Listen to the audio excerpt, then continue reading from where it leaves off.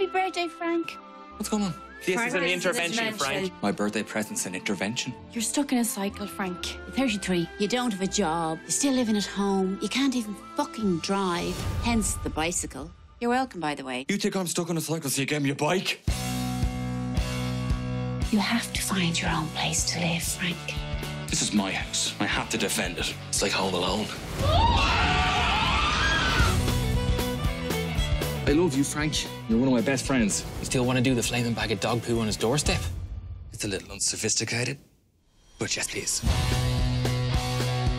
I'm gonna give you a piece of my mind. Is that a boner? Yeah, that's that's a strange one.